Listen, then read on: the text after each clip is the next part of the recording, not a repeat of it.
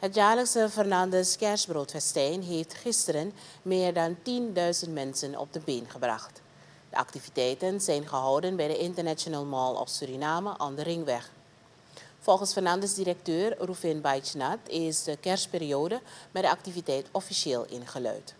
De, de bezoekers konden tijdens het evenement kerstbrood belegd met kaas proeven.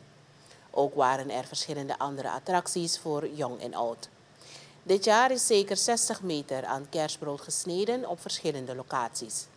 De directeur zegt dat het evenement van dit jaar heel erg is aangeslagen. Het kerstbroodfestijn is ook in het licht van het 60-jarig bestaan van Fernandes Bakkerij.